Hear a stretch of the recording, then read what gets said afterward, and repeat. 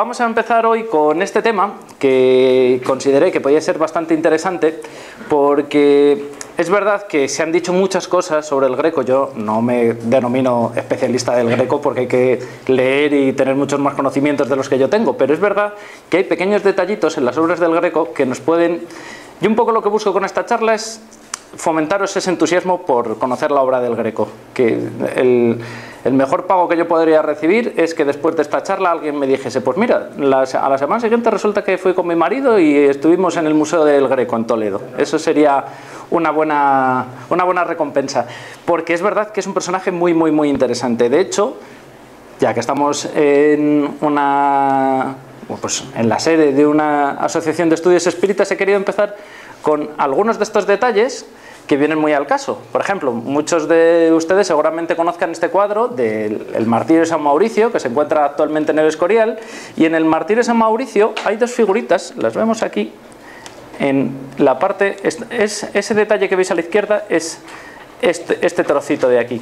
Y si os fijáis, en mitad de toda esa multitud hay dos personajitos desnudos, uno aquí y otro le vemos aquí. Son dos personajitos que no solamente están desnudos, sino que encima están levitando, ascendiendo por esa especie de rayos de luz que les llevan hasta la gloria. ¿Por qué? Pues bueno, porque básicamente son espíritus. No me voy a meter si... porque para eso están los, grandes intelectuales de esta casa, para hablar de los espíritus. Yo no me meto en este tema porque lo desconozco, pero lo que sí que es cierto es que el Greco pintó espíritus y no es la única obra en la que aparecen varios espíritus. Aquí lo vemos con más detalle, ¿veis? Aquí hay uno y aquí estaba el otro. Y si pasamos a la siguiente imagen, vamos a ver, a ver si lo consigo. Uy, uy, ¿qué me pasa? A ver, que quiero ir yo demasiado deprisa y me precipito. Bueno, en otro de los... Eh, ¿Qué se me pasa? Vale, en este siguiente cuadro que va a aparecer a continuación vais a ver que también aparece otro espíritu. Es el famosísimo cuadro del entierro del conde Orgaz y justo aquí veis que hay un ángel entre el plano terrenal y el plano espiritual, pues entre medias hay un ángel que en sus brazos sostiene una figura evanescente en el cual se le ve una pierna, la espalda y la cabeza que no sería otra cosa que el alma del señor de Orgaz ascendiendo a los cielos. Bueno, pues para que veáis que hasta temas mm, espíritas, podríamos decir, aparecen en los cuadros del Greco. ¿Cuántas más cosas no aparecerán? Pero bueno, antes de meternos en harina, eh, sí que me gustaría digamos que separar un poco el grano de la paja y decir qué cosas, mm, qué mitos podemos desechar ya desde el principio. Y los voy a desterrar así con un poco de virulencia, pero es que es necesario. Se ha dicho, por ejemplo, del Greco que si era judío converso, que si formaba parte de una sociedad secreta, que si tenía problemas de visión, que si tenía astigmatismo y tal que estaba vinculado con la mística, esto también se ha dicho, de hecho en infinidad de libros y de cosas que se han publicado de los místicos, de la mística castellana de ese siglo XVI y XVII, se ilustran con las obras del Greco, pero vamos a ver que hay un trecho mm, bastante grande entre ambas corrientes. Luego, que era un personaje a contracorriente, esto también se ha dicho, y que este, esta imagen que vemos aquí, que es su autorretrato, porque es uno de los personajes que aparece en el entierro del Condorgaz. La única prueba para decir que esto es un autorretrato del Greco es que dicen que mira al espectador. Pero bueno, de hecho, si tapásemos la imagen, nos daremos cuenta que ha hecho un personaje estrábico y que solo un ojo es el que mira al espectador. Así que, bueno, tampoco hay ninguna prueba más que confirme que esto es un autorretrato del Greco. Luego vamos a ver otros posibles autorretratos, pero este no parece muy probable. Bueno, entonces, si, claro, alguien podría decir, pues vaya charla nos vas a dar, nos has tirado por traste todos los mitos que teníamos sobre sobre el greco, pero hay muchísimas cosas más y muy interesantes que a las que nos vamos a adentrar ahora. Quisiera empezar primero con esta imagen, porque una de las cosas que ha ocurrido con el Greco es que es un personaje muy, muy, muy, muy mitificado. Durante un montón de siglos, el Greco en su época tuvo cierto éxito, pero luego cayó en el olvido. En el siglo XVIII, por poneros un caso, pocos tratadistas de arte hablaban del Greco, y no es hasta el siglo XIX cuando se recupera la figura del Greco y se recupera con un montón de exageraciones. Y, por ejemplo, esa vinculación del Greco y la mística se debe en gran medida a, Manuel Bartolomé Cosío, que es uno de estos historiadores del arte de, principios del siglo XX, es este libro en concreto, este creo que es de 1908, si mal no recuerdo, sí, de principios del siglo XX en cualquier caso, y hace ese paralelismo, pero vamos a ver que también es pues, poco riguroso, no voy a decir que es mentira, pero sí poco riguroso. ¿Qué sabemos del Greco realmente en su época? Bueno, pues ese mito que también se ha dicho, no, es que el Greco en su época no estaba valorado. Hombre, claro, ningún, ningún pintor está valorado en su época como lo está en el futuro, porque hay un montón de condicionantes artísticos que hacen que Picasso no vendiese sus cuadros al mismo precio que se venden ahora, evidentemente. Pero si nos encontramos que, por ejemplo, el Greco tiene discípulos como Luis Tristán o como su propio hijo, Jorge Manuel, y que otros tratadistas de arte de esa época, como Francisco Pacheco, ya hablan del Greco y hablan bien y están diciendo cosas positivas de él. Por lo tanto, esas cosas que se han dicho a veces de que si había envidias de los pintores hacia el Greco y tal, pues bueno, no tiene mucho fundamento.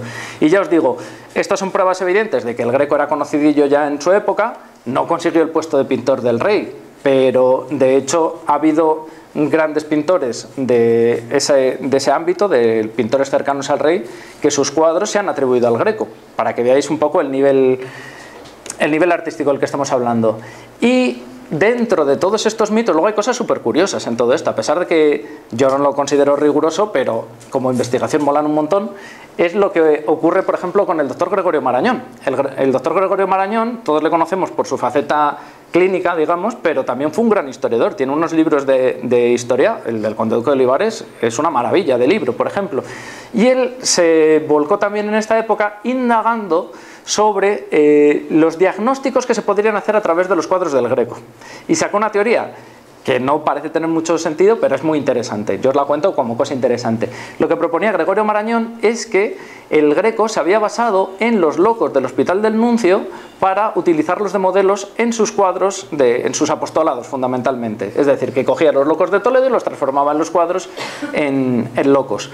Para confirmar su teoría hizo esta investigación. Esta investigación consistía en lo siguiente, ir, que me pasó, ir a distintos manicomios con permiso, lógicamente esto se hizo en el siglo XX y tenían permiso de los, de los propios enfermos, de los enfermos mentales, para que se les dejase crecer las barbas y el pelo y pasados unos meses irles a hacer unas fotografías, bueno, con Pablo Rodríguez, con José, eh, José María Lara, que es otro fotógrafo, y Pardo Brea, que es otro de los grandes artistas que acudieron con el doctor Marañón a hacer estas fotos. Y ataviaban a los, a los enfermos mentales con atuendos parecidos a, los, a las ropas de los cuadros del Greco. Y este era el resultado, que conseguían gestualidades y, rasgos fisionómicos parecidos a los de los cuadros del Greco.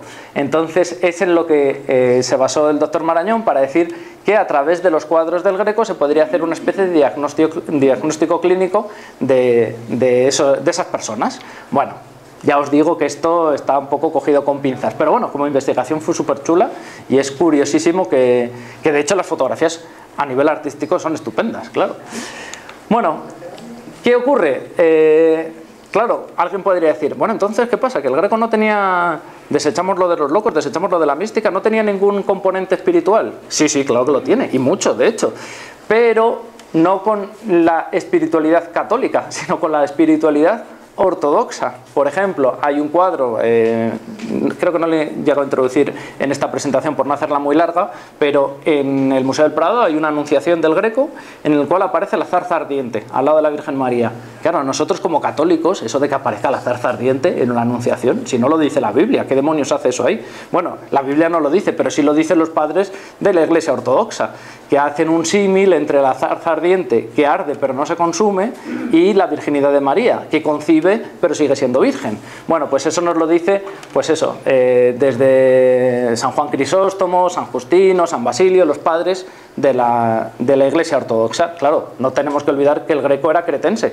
eh, formaba parte de esta, de esta cultura, a pesar de que se, se hibridó muy bien en la cultura católica de la España del siglo XVI. Y por supuesto, eh, otra de las, además de esos libros de Bartolomé Cosío y de tantos otros autores, sobre todo también del romanticismo y demás, que han deformado la imagen del greco, otra de las cosas que ha deformado mucho la imagen del greco son las películas. Claro, ¿qué ocurre con las películas del greco? Pues que evidentemente lo que nosotros no vamos al cine a ver una película de una persona normal y corriente, de la vida de nuestra vecina. Pues no, porque eso no es interesante, ni hay acción, ni es trepidante, ni nada. Vamos al cine a ver una cosa emocionante.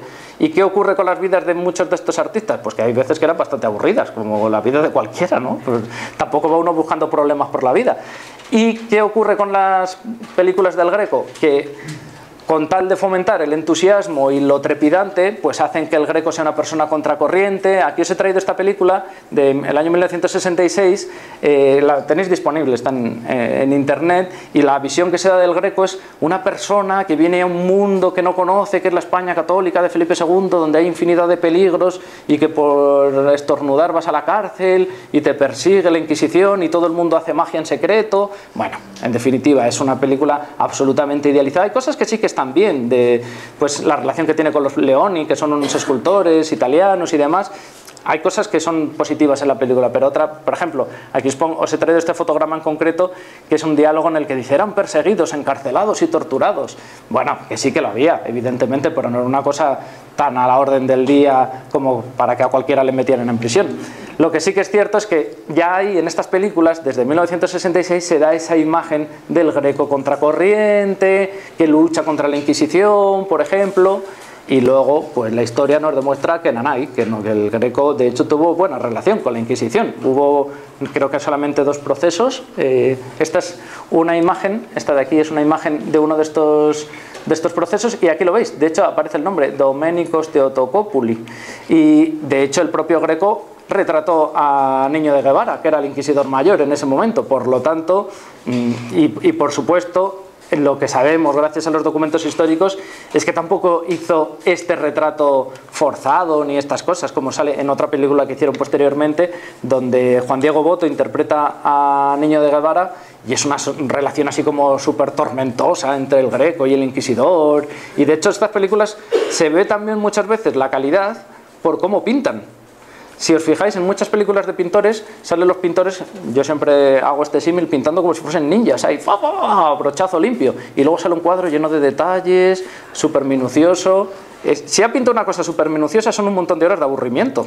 Que estaría el pobre pintor ahí, venga a darle con el, con el pincel, hablando a lo mejor con el ayudante y cosas, pues como encaje de bolillos, una cosa casi de artesanía. Entonces, no es todo tan emocionante como sale en estas películas. Y por supuesto, el Greco no pinta, en esas películas, por ejemplo, en esa que os digo eh, que es mucho más reciente, de, ya del siglo XXI, salen cuadros en el estudio del Greco que nunca estuvieron esos cuadros a la vez en el estudio del Greco, porque unos los pintó en Italia, otros los pintó en España y allí se quedaron, no, no estuvieron conviviendo a la vez esos lienzos en su taller. Pero bueno, en este caso el proceso además es bastante curioso, eh, lo voy a resumir así muy mucho, pero es eh, la intervención del Greco en este proceso, bueno, aquí la tenéis ampliada la firma, este documento está en el Archivo Histórico Nacional y eh, está digitalizado, ¿verdad? me refiero a Álvaro Anula, que está aquí, que es otro de los grandes investigadores del, del Greco, y hace unos días precisamente lo estábamos hablando. Y básicamente, el papel que juega el Greco en este proceso inquisitorial es como traductor, porque procesan a un muchacho que es, griego, que es griego y en Toledo no era tan fácil encontrar un intérprete griego y, y al final se desvela que bueno, un personaje al que le acusan de no cumplir con pulcritud los rituales en misa y demás, eh, y de hacer cosas extrañas que siempre se intentaba ocultar y demás, luego resulta ser que era un problema de almorranas y, ya está. No, para que veáis las cosas misteriosas en donde acaban a veces, que es, pues nada, pues que es un señor que tenía esos problemas, los trataba de ocultar y lo único que hace es despertar sospechas sobre cosas peores. Y bueno, el greco eh, interviene ahí, ya os digo, como, como mm, intérprete, aunque luego también eh, trabajó unos años como veedor. Veedor, como su propio nombre indica, es la persona que ve, la persona que se encarga por parte de la Inquisición de controlar que las obras no se salgan de la ortodoxia. Que tú no cojas y pintes a San Pedro joven, por ejemplo, sino que le cumplas cumpliendo con el canon que se había establecido ya desde el Concilio de Trento.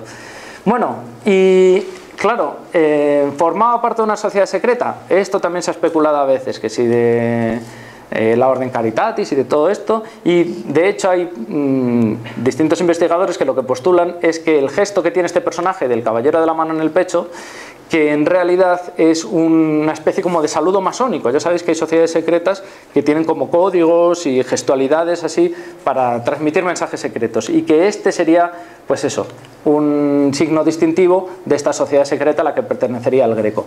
Que bueno, sería un poco raro porque de ser así ahí le veis con más detalles a mano. De ser así, también formarían parte de esa sociedad secreta Jesucristo, María Magdalena, San Ildefonso, San Francisco. Es un poco raro. Y de hecho, también estos cuadros tienen un montón de años de distancia. En realidad, ese gesto es una cuestión de pura elegancia, por lo que eh, afirman los historiadores más concienzudos, o que incluso podría tener una parte simbólica, si es que la tiene, eh, aludiendo al simbolismo que tienen los dedos. Ya sabéis que el índice se llama índice porque indica, el corazón, bueno, el anular del anillo. Yo, muchos de vosotros sabéis que doy clases a niños y los niños dicen, me decía un niño, que el dedo anular es donde te pones el anillo porque te casas y anulas a la familia. Se, llama anular, pero bueno, no. Y lo que en esta época también a veces en algunos tratados de simbolismo y demás afirman es que el anular es el dedo de la fidelidad. Entonces, fidelidad unido al corazón es una fidelidad espiritual, algo así, ¿vale? Eh, no lo sabemos con seguridad, pero bueno, es una de las posturas que una de las propuestas que se postulan, pero vamos, no lo sabemos con seguridad, puede ser que simplemente sea un gesto de pura elegancia. Y claro, eh, significa que no hay claves secretas en las obras del Greco, porque hasta ahora lo que estoy haciendo es un repaso para desmoronar un montón de ideas preconcebidas sobre el Greco. Pues no, evidentemente hay cosas secretas y cosas ocultas, pero no son tan evidentes, porque claro, ahí está la gracia del asunto. Y no solo no son evidentes, sino que, se pueden contrastar, que podemos basarnos en textos, en información, en documentos de esa época para decir que esto es verdad y que no es una cosa que se me haya ocurrido a mí después de echarme la siesta esta tarde. Entonces, este, esta imagen que vemos aquí, a la izquierda, esa serpiente mordiendo un papel, que lo vemos en la... No sé si desde el fondo lo llegaréis a ver, pero en el cuadro del, del martirio de San Mauricio, en la parte inferior derecha, aparece esa serpiente. ¿Vale? Y efectivamente, ahí os lo he ampliado para que lo veáis con detalle, muerde una hoja en, cuyo, en cuya superficie está escrito el nombre del greco, es su firma. Es una serpiente sosteniendo la firma del greco. Claro, todo esto tiene muchísimo sentido si lo interpretamos con los códigos de su época, que esto también es súper importante. Si descontextualizamos las cosas, todo vale. Porque claro, si nosotros tratamos de darle el simbolismo actual a cosas que se pintaron en el siglo XVI, pues, pues mal vamos, claro. Y lo que sí que sabemos es que la serpiente, y este cuadro en concreto, este cuadro lo hace el Greco, digamos que tratando de ser pintor de Felipe II. Él llega a España con esas ideas, con ser uno de los muchos pintores que está contratando eh, Felipe II en las obras del Escorial y tratando de acercarse, digamos que a la figura del monarca. Lo que pasa es que no lo consigue, el, rey no está muy de acuerdo con el estilo del Greco y termina descartándolo y por eso termina viviendo en Toledo. Y este cuadro, en concreto, lo que trata de ser es eso, una carta de presentación ante el rey, dando por hecho que Felipe II entendería los códigos en los que pintaba el Greco. Porque de hecho pues, se sospecha que el Greco tuvo cierta relación con Tiziano, que ya había pintado para Felipe II, por ahí podía venirle un poco la información al Greco de de la parte intelectual de Felipe II. Bueno, pues si nos fijamos en libros que manejaba, por ejemplo, Tiziano, como la hieroglífica de Orapolo, que es la hieroglífica de Orapolo es un libro que es un disparate histórico absoluto, pero es muy interesante al mismo tiempo. Eh, en el siglo IV, que es cuando se supone que se publica este libro, que llegaría a la Europa occidental a través de la caída de Constantinopla. Constantinopla cae a, finales de la Edad Media y muchos intelectuales romanos, romanos del Imperio Romano de Oriente, llegan a Venecia y otros puntos de Italia y traen consigo información en base a libros que en Europa habían desaparecido, el Atlas de Ptolomeo, por ejemplo, y todos estos libros que fomentan la cultura pues, del neoplatonismo y todas estas cosas, y entre esos libros llega también la hieroglífica de Orapolo, que como os digo es un disparate histórico, porque su autor, Orapolo, lo que, era un autor del siglo IV, lo que trataba de hacer es explicar los jeroglíficos egipcios, sin tener ni repajolera idea, y entonces da unas las interpretaciones que le da la gana, pues el mono significa esto, la serpiente lo otro, eh, el ojo de Horus significa tal cuestión y ya digo, cualquier egiptólogo se, se, reiría de este libro. Pero en esa época se toman en serio y lo utilizan muchos pintores para coger esos elementos y meter jeroglíficos en sus cuadros. De modo y manera que uno de los elementos que aparece en la hieroglífica de Orapolo es la serpiente. Y en la, serpiente, en el libro de Orapolo, tiene mucho sentido. ¿Por qué? Ahí la vemos, es la ilustración que aparece, que también aparece así como medio enrollada, como la pinta el greco. Y la serpiente en ese libro de Orapolo significa el rey. Con lo cual, una serpiente que sostiene la firma del greco es como autoproclamarse pintor del rey. ¿Vale? Es una declaración de intenciones un poco veladamente para que fuese una cosa más íntima entre el Greco y el propio Felipe II. Pero hasta ahí, ¿vale? Y esto, está, esto sí se puede demostrar, esto no son especulaciones.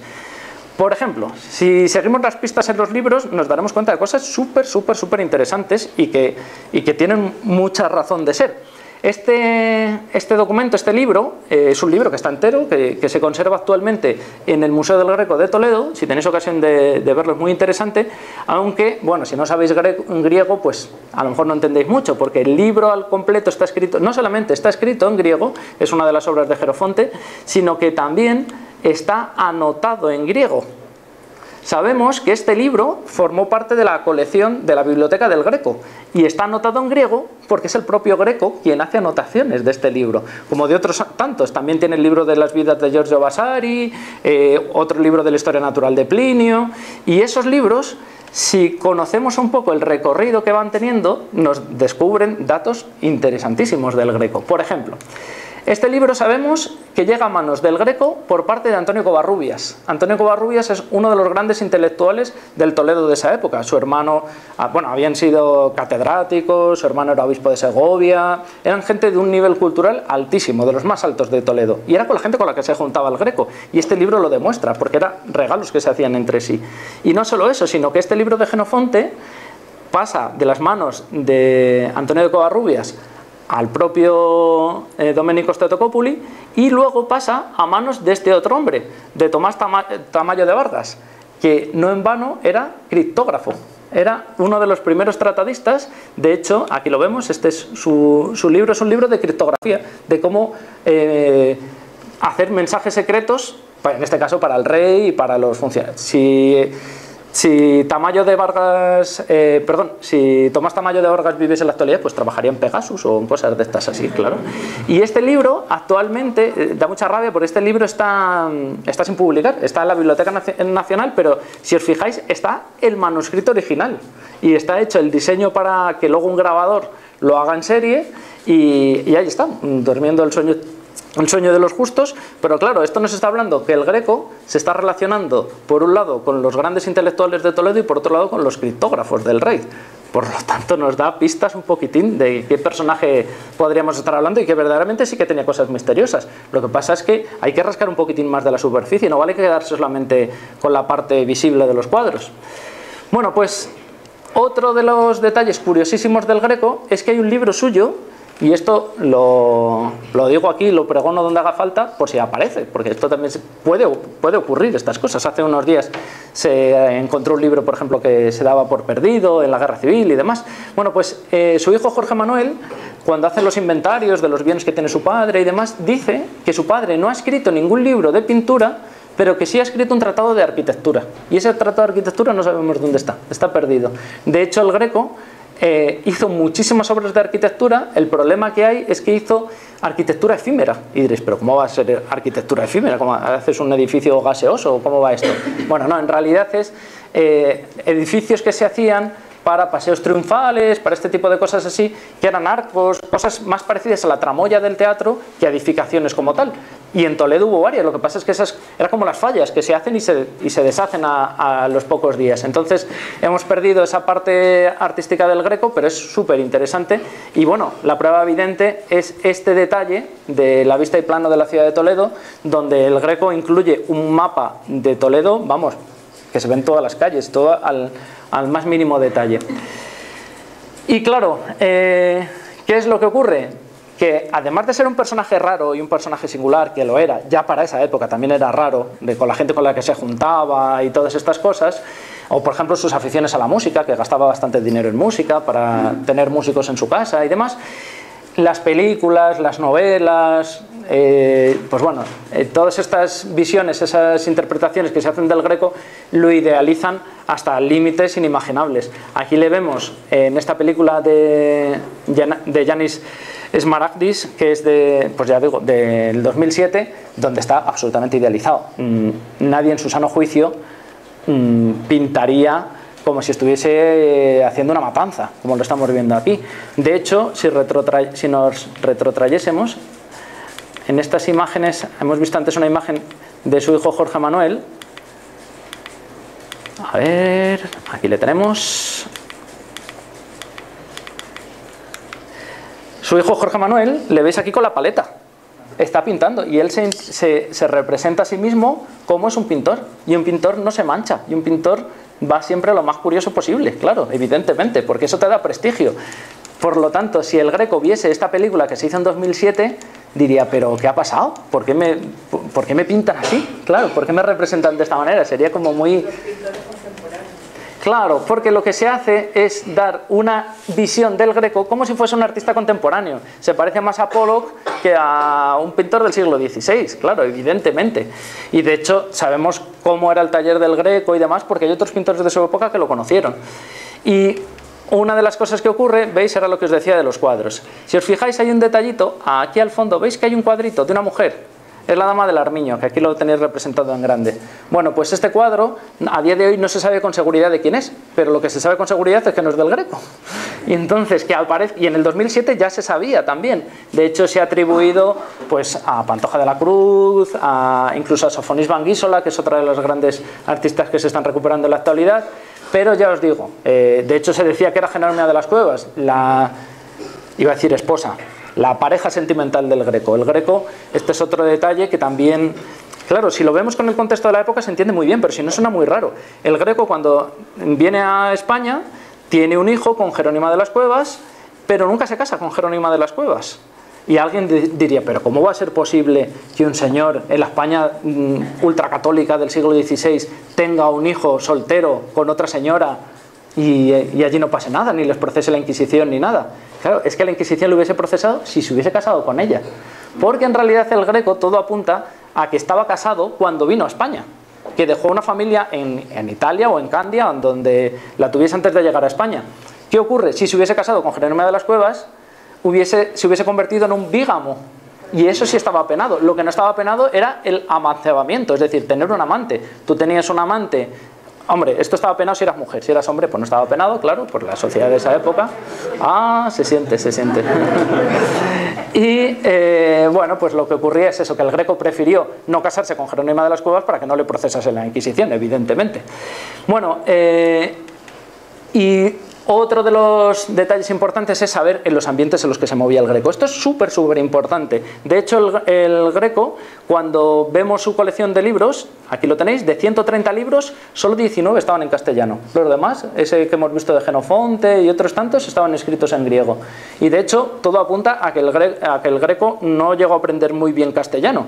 Y de hecho, solo se relacionaba con gente de este calibre que eran los intelectuales de Toledo. ¿Por qué? Porque ellos sí que hablaban griego, claro. El griego era una lengua de los académicos de aquel momento, de los profesores de universidad. En Salamanca grandes académicos hablaban griego, el pueblo ya no, no. Y al greco tampoco le interesaba tener conversaciones sobre Plinio con el panadero de su barrio. Mm, le interesaba tener conversaciones con gente de esta talla intelectual. Y aquí vemos a los hermanos Covarrubias, que es, es clave para entender la obra del greco, ¿vale?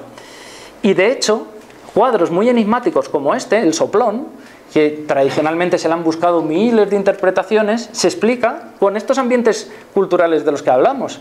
Cuando conocemos con qué gente se junta el greco y qué libros lee, empiezan a tener eh, razón estos cuadros. ¿Por qué? Porque Plinio, Plinio es un autor de época clásica que escribe un libro famosísimo, que es la historia natural, donde habla de todo, desde los monstruos marinos hasta los escultores, de todo. Y una de las cosas que dice es que habla de los pintores de la Grecia clásica, que de los escultores sí que nos ha llegado obra, pero de los pintores ya no, no se conserva ninguna ninguna tabla pintada por Apeles o por Zeuxis o por todos estos artistas. Y gracias a Plinio nos podemos hacer más o menos a la idea de qué cuadros eran.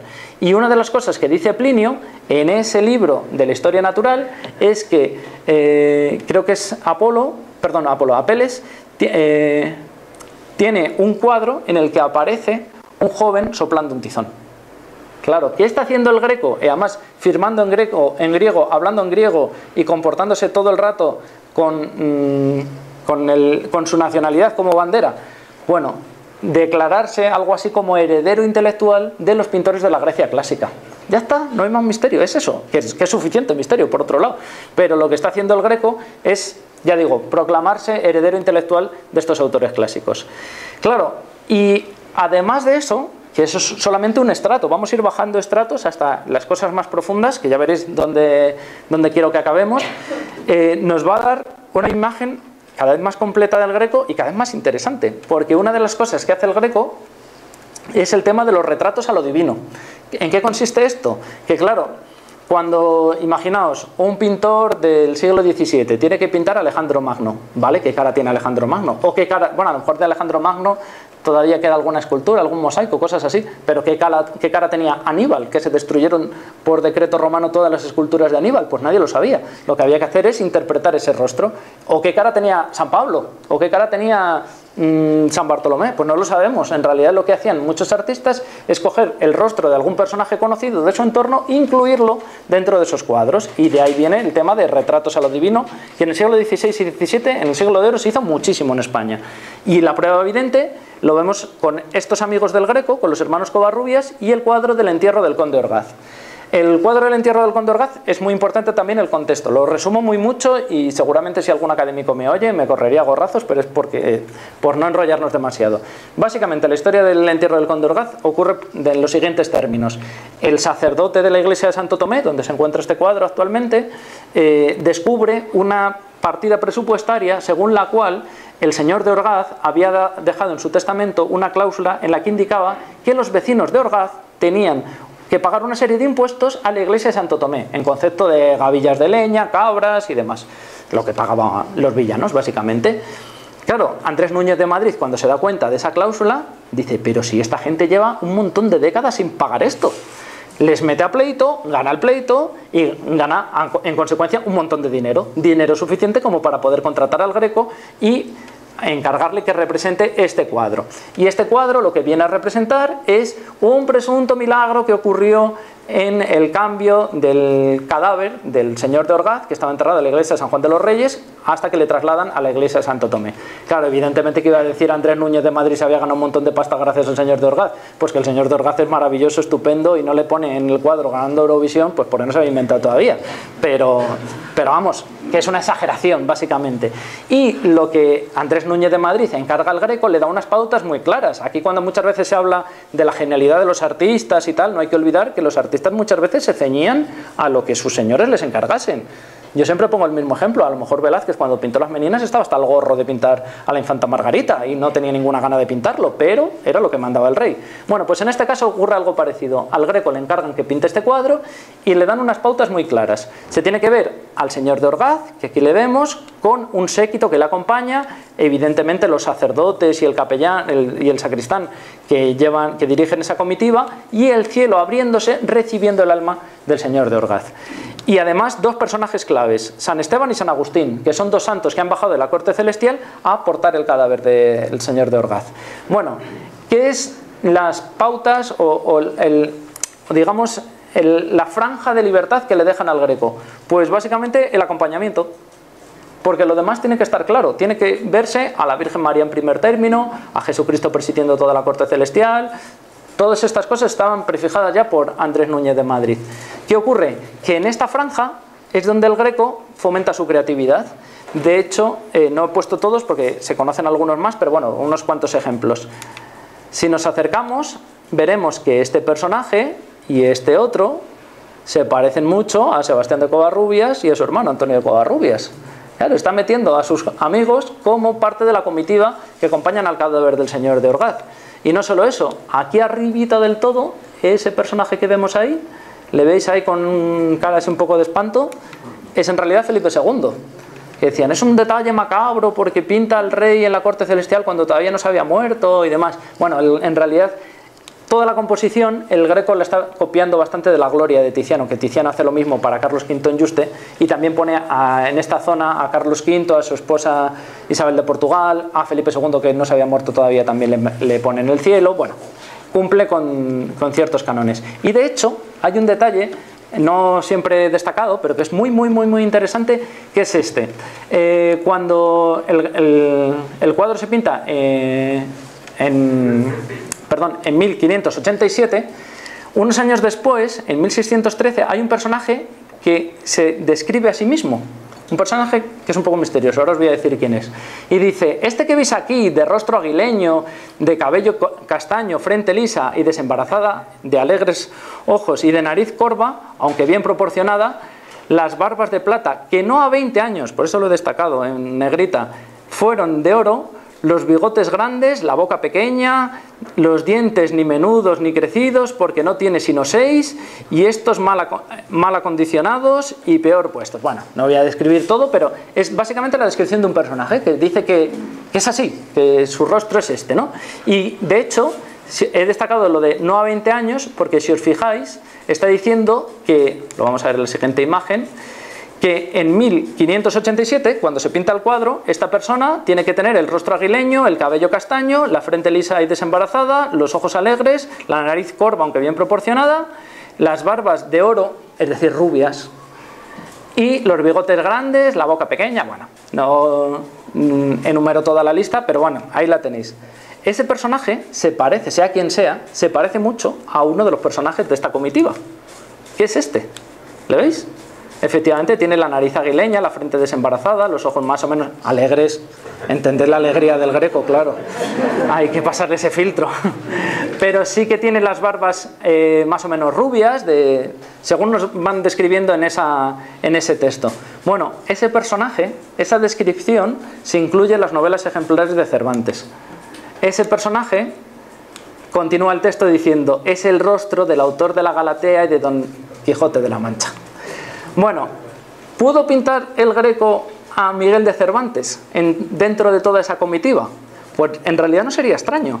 ¿Por qué? Porque, como vemos, los ámbitos intelectuales en los que se movía el Greco eran muy pequeños. Pensad que el Madrid de aquella época no llegaba a 70.000 habitantes y era la capital del imperio, al fin y al cabo.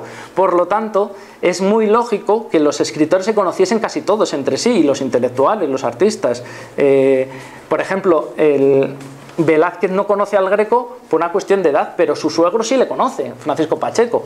Es decir, que es posible que se conociesen, pero claro, si antes hablábamos o exigíamos cierto rigor histórico y pruebas documentales, hay que aportarlas también. Bueno, lo que sí que es súper claro y súper evidente, algunos de vosotros como venís a mis clases lo sabéis, es que este rostro no es Velázquez. Perdón, no es Velázquez, no es, no es Cervantes.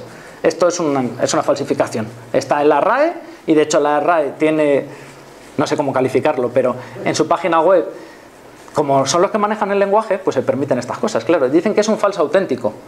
Un retrato falso auténtico de, de Cervantes, que no sé cómo se come eso, pero bueno, sabemos quién lo hizo en el siglo XIX y la intentó colar y le pillaron al final. Pero bueno, esto ha seguido así, es el rostro que vemos en las monedas, en infinidad de libros y todas estas cosas, pero que sepáis claramente que es falso, que, no es Cervantes, es una interpretación que se hace Cervantes a partir de ese texto. Por lo tanto, de ser esto cierto, esto sería, este sería el único retrato que conservaríamos de, de Cervantes.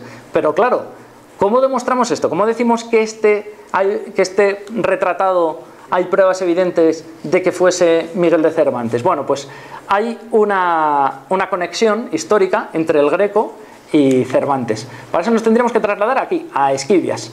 En Esquivias es donde se casa Miguel de Cervantes. Está viviendo unos años ahí y de hecho hay algunos vecinos que se pillan Quijada y cosas así. Parece que algunos nombres, por ejemplo, de los personajes del Quijote los toma de los vecinos de Esquivias. Y en el archivo parroquial de Esquivias, ahí os he traído una imagen, eh, si buscas y rebuscas en estos libros, encuentras cosas muy, muy, muy interesantes. Por ejemplo, los, bueno, los nombres, anotaciones de cervantistas de, épocas pasadas, que, de hecho, esto clama al cielo, hay cervantistas que hicieron anotaciones en los libros del siglo XVI a boli, que es como un atentado terrorista, pero bueno.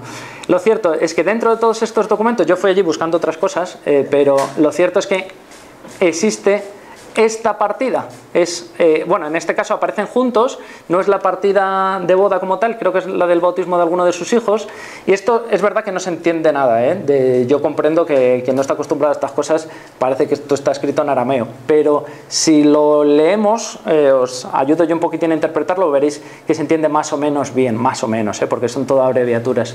Dice, en el lugar de, a ver...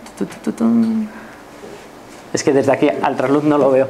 Pero bueno, eh, básicamente son partidas de bautismo que siempre dice lo mismo. En el lugar de Esquivias había tal, no sé qué, del mes tal, de 1500 y no sé cuántos. Yo, el cura propio, fulanito de tal, bauticé al niño, no sé qué, no sé cuántos. Van diciendo ahí el nombre. Normalmente esto es el nombre, ¿vale? Eh, en este caso es una abreviatura también. Pero, por ejemplo, ¿veis que aquí aparece Quisada La, J en esa época la transforman en X, pero ahí veis Quijada, Quijada Salazar, ¿Vale? Bueno, es uno de los nombres de los vecinos. Pues bien, lo que nos interesa son dos nombres que están, le he puesto aquí a propósito para, para comentarlo, que eh, están aquí. Y Doña, aquí se corta, pero os aseguro que pone Elvira, veis que pone aquí, Vira de Ábalos, su mujer. Fueron eh, tal. Bueno, y más adelante, más atrás, perdón, habla de eh, Gonzalo de Salazar. Bueno, hay dos personajes, estos dos personajes, vecinos de Esquivias, son Elvira Dávalos y Gonzalo de Salazar. Gonzalo de Salazar es el sobrino de la mujer de Cervantes. Y Elvira Dávalos es la sobrina de Andrés Núñez de Madrid, el párroco de la iglesia de Santo Tomé. Estos personajes se casan en Esquivias.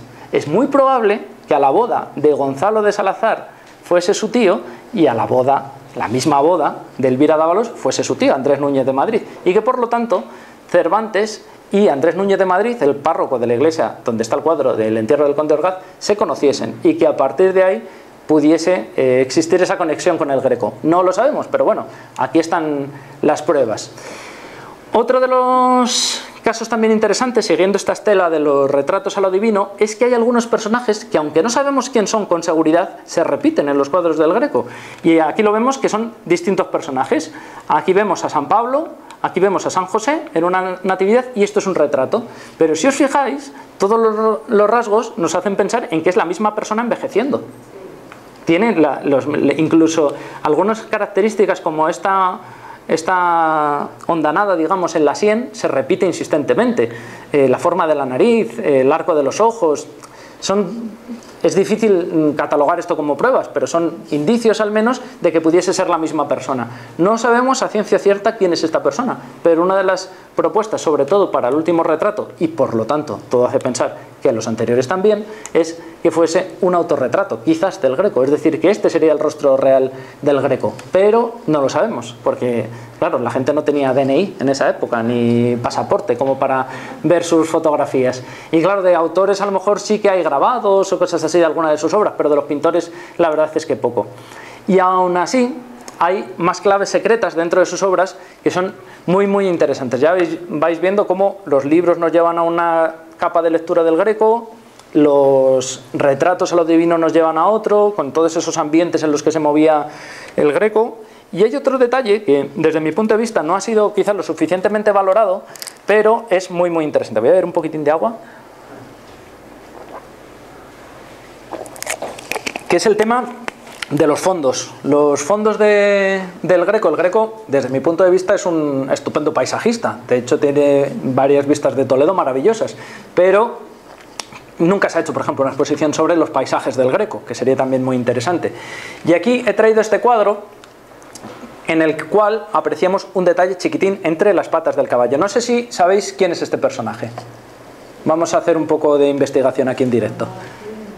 A ver, a ver, alguien lo ha dicho por ahí exacto, San, Martín de Tours, eh, este santo francés que le se quita su espada y corta media espada, media, medio manto para dárselo a un pobre. Hay un chiste muy tonto de esto que dicen que San Martín de Tours se sabe que era francés porque si hubiese sido español le hubiese dado la capa entera al pobre. Pero bueno, el caso es que... Eh, lo cierto es que efectivamente San Martín, sea como sea. Y en este detalle, si nos fijamos en el fondo, se ve como una especie de montañas y el cauce de un río y un puentecito. ¿Lo veis? Lo vemos ahí con más detalle. Bueno, ese puentecito, ¿alguien le identifica ese puente? Se parece bastante a este. No, no exactamente, casi casi. Es un poquitín más abajo del cauce del río. Es el puente de San Martín. Claro, de hecho, que el Greco incluya el puente de San Martín en un cuadro de San Martín hace que los fondos tengan coherencia, claro. No está poniendo el fondo al azar, porque de hecho, si quisiese pintar el puente de Alcántara, vamos a ver que en otros cuadros también lo incluye. Uy, ¿qué me pasó? Bueno, aquí tenemos otro de los cuadros, este, eh, si mal no recuerdo, está en Nueva York, es Laoconte devorado por sus hijos, que también es muy, muy, muy interesante. Eh, quizás muchos de vosotros sepáis que el descubrimiento de Laoconte en, en, en, 1505 en Roma fue todo un acontecimiento cultural. Laoconte era una de esas esculturas de las que hablaba Plinio. ¿Os acordáis que antes os mencionaba la historia natural de Plinio? Bueno, pues Plinio, además de hablar de los cuadros que pintaba Peles, Zeuxis y demás, habla de las esculturas que hacían autores griegos famosísimos en su época y menciona esa escultura de Laoconte. Claro, cuando un día en Roma, en el año 1505, un agricultor tiene la mala suerte de que una de sus bestias meta la pata en una antigua cueva y aparezca ahí la escultura de Laoconte, claro, se monta la mundial en Roma. Todos los artistas fueron a verla, el propio Miguel Ángel, hicieron peregrinación y colas y colas de gente día y noche para ver, para ver la escultura. Obviamente, esta escultura luego se traslada a, al patio del Belvedere en el Vaticano y el Greco es muy probable que la viese, que viese en directo esta, esta escultura. Años más tarde, ¿eh? que estamos hablando casi con, casi con un siglo de diferencia. Lo que sí que es cierto es que cuando el Greco eh, hace esta interpretación del Laoconte, hay un detalle muy singular. Yo no sé si conocéis, lo cuento así muy resumidamente, la historia de Laoconte es un sacerdote troyano que advierte a los troyanos que no se fíen de los griegos con los regalos y el, y el famoso caballo, que eso va con segundas, que seguro que la van a liar. Y justo cuando Laoconte está intentando advertir a los troyanos de que no cojan el caballo de, de, Troya, nunca mejor dicho, unas serpientes salen del mar enviadas por Atenea y devoran no solo a Laoconte, que aquí le vemos sufrir, sino también a sus hijos. El greco incluye a dos personajes más que no sabemos quién son, que esto sí que es una cosa muy misteriosa. Pero más misterioso aún es que, bueno, aquí veis el caballito de Troya, evidentemente, y esto sería Troya. Ahí lo vemos ampliado. Pero claro, ¿qué hace el escudo de Carlos V en Troya? Porque esa puerta es la puerta imperial de Toledo. De hecho, lo pinta con tal precisión, vemos aquí el perfil de Toledo con tal precisión que sabemos desde dónde es esa vista de, la propia ciudad. Es una vista de Toledo desde el hospital de Tavera, que aquí lo tenemos. Uy, ¿qué me paso? Ahí, a ver si llego. Ahí está. ¿Veis que es lo mismo? Lo vemos en la parte superior. Es exactamente igual, los mismos edificios, hombre, hay edificios que han desaparecido por la guerra civil y otras cuestiones, pero que es la misma vista, es exactamente igual. Claro, aquí genera cierto enigma, ¿por qué el greco hace una especie de retrato a lo divino de Toledo como si fuese Troya? ¿Qué tiene que ver Troya con Toledo? Bueno, pues hay un, un falso cronicón, que es como se le llamaban a los libros, a ese tipo de libros en aquella época, que es eh, libros que escribían historiadores que eran farsantes, básicamente, en este caso Román de la Higuera, que es uno de los mentirosos consumados de la historia de España, que lo que buscan es darle un pasado glorioso a las ciudades. Con Madrid se hizo, diciendo que si Madrid la había fundado Novianor, que era un personaje que había venido de la guerra de Troya, que es mentira, claro, evidentemente, pero con Toledo ocurre otro tanto de lo mismo y también dicen que hay dos personajes de la guerra de Troya que son los que fundan Toledo, ya añadiendo más leña al fuego que había ya, que si lo había fundado Hércules, que bueno, todas estas paparruchas, digamos, que es básicamente para darle un pasado mítico a la ciudad de Toledo. Quizá fuese por eso, que a lo mejor el Greco hubiese leído el libro de Román de la Higuera a propósito de estos personajes troyanos que habían venido a Toledo, pero no lo sabemos, a lo mejor hay otra clave que, no, que es más difícil de interpretar. Pero lo que está claro es que la ciudad que pinta en el fondo de Laoconte no es Troya, sino la propia ciudad de, de Toledo. Y otro cuadro que también es muy, muy, muy, muy, muy interesante y por eso lo he dejado para el final, es esta anunciación de la capilla de Ovalle, que se encuentra en Toledo, y veremos que en ese fondo que se aprecia así medio nublado, se ve otro puente. ¿Lo veis ahí? Hay un cauce de un río, un puente, aquí hay como un castillo y aquí parece que es una ciudad. Vale, ¿qué ciudad va a ser? Pues Toledo, otra vez, claro. Y en concreto es el puente de Alcántara, ¿veis? Se identifica más o menos bien, lo deforma mucho al gusto de, del propio Greco y por supuesto el, el Alcázar actual no, no, lo conoció nunca el Greco, que es una reconstrucción muy posterior, pero es evidente que el Greco está otra vez dando protagonismo a la ciudad de Toledo en el fondo de este cuadro, no sabemos por qué. Pero no solo eso, sino que en este cuadro hay otro detalle, que esto, si hubiésemos conservado el libro, ese tratado de arquitectura que escribió el Greco, podríamos descifrar algunas cosas y, saber cuáles eran las verdaderas intenciones del Greco, que como veis es un personaje muy, muy, muy singular. Y es estas flores que aparecen aquí. Estas flores, parece que yo he cortado la imagen, y en absoluto, ¿eh? la imagen, aquí lo veis, esta es una imagen de cómo era la capilla antiguamente, y está tal cual. Y, esto es curioso porque el Greco, cuando pinta flores, por ejemplo, si recordáis ese cuadro del, martirio, de San Mauricio, cuando sale la serpiente, sale el suelo y se ve cómo nacen las flores y cómo están al lado de un tronco que está cortado y se ven las raíces del tronco y todo. Pero aquí no. De hecho es que parece que las flores están como en otro plano. Están en el primer plano, hay un primer plano que son las flores y luego ya el ángel y todo lo demás esas flores son muy enigmáticas, nadie pinta así en esa época, nadie hace estas cosas. Y, insisto, el cuadro nunca se cortó, que estas cosas también pasan en la historia, que cambian, hacen obras, cambian el retablo y como sobra un trozo del cuadro lo cortan y lo tiran a la basura. Pero en este caso nunca lo cortaron y siempre tuvo esas dimensiones. ¿Por qué pinta eso así el greco? Bueno, no lo sabemos, pero yo he elaborado una teoría, que insisto, solamente es una, una hipótesis, esto se puede desmoronar en cualquier momento, pero puede tener sentido. Y es esto. Ahí veríamos el cuadro, cómo estaría eh, si viésemos la imagen en color, para que situéis más o menos las flores, para que las veáis ahí en color.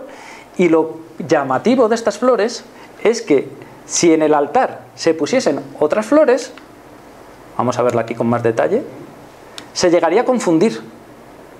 No sabríamos qué flores son de verdad y qué flores son las pintadas. Aquí la imagen es que no tiene mucha calidad, pero esto sería para hacer un experimento y poner unas flores delante del cuadro y hacerles una fotografía.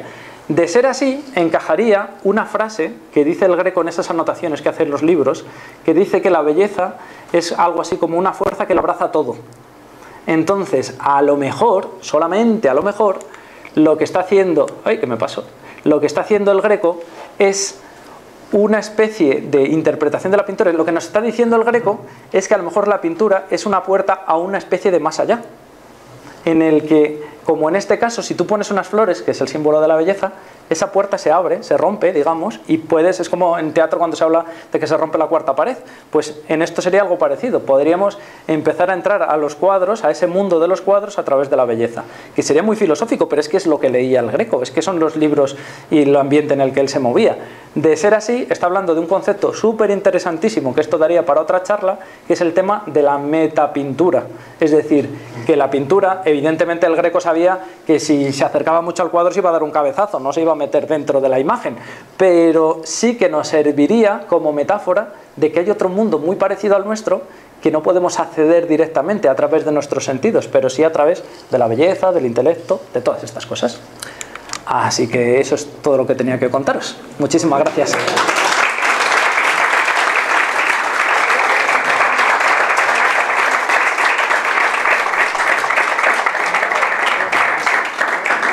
Cierto, si hay alguna pregunta, alguna crítica, piedras que queráis tirar, lo que sea, es el momento. ¿Por allí? Pregunta, ¿se sabe algo si llegó a tener algún tipo de relación amistosa? ¿Se conocieron Felipe II y el Greco? Conocerse sí que se tuvieron que conocer. No sé qué relación tendrían, pero de hecho el Greco pinta un cuadro que es el sueño de Felipe II, que está cargadísimo de simbolismo, que es súper interesante, y sale el infierno, pero el infierno visto otra vez como, la como lo decía la iglesia bizantina, por ejemplo, ortodoxa, vamos. Entonces sí, sí, sí que se conocieron. Lo que yo no sé es qué relación tendrían. No parece que muy estrecha, ¿eh? no parece que, porque no, no duró mucho en el tiempo, fue como un encuentro muy breve. Eh, has dicho al principio que el Greco no tenía problemas de visión. Sí, eso está más o menos demostrado. Es difícil saberlo, si tenía o no, porque claro, salvo que nos planten los ojos del Greco en una mesa, es, va a ser difícil, pero... Lo de, pintar los personajes tan alargados, eso... Claro, eso tiene una explicación.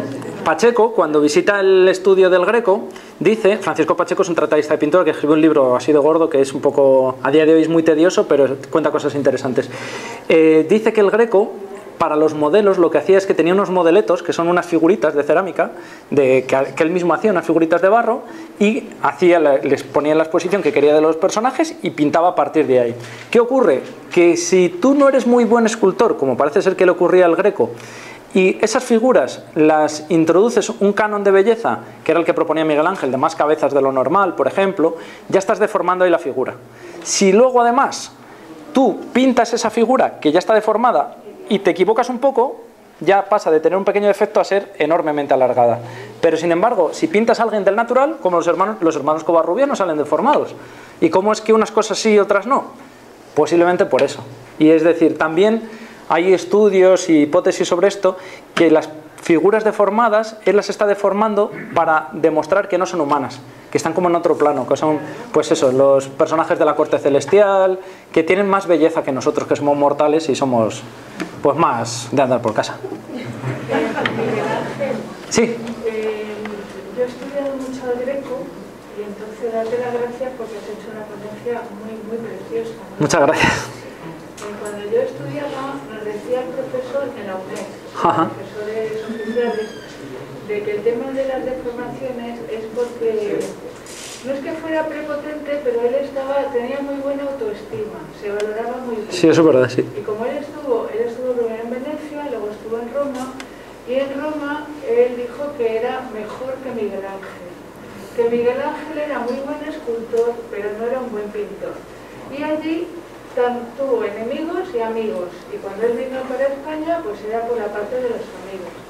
Entonces, ¿qué pasa? Que hay una serie de pintores que tienen que superar a Miguel Ángel, porque Miguel Ángel es la perfección absoluta. Si vemos la piedra de Miguel Ángel, Claro.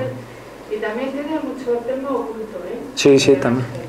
Entonces, para superar al maestro, ellos, no solamente el greco, sino también otros pintores, deforman las figuras. De tal manera que es una corriente Claro. que se llama el manierismo. Total, eh, te lo iba a decir justo, sí, sí, sí. Entonces no es que sea miope ni que tenga Claro. algún problema.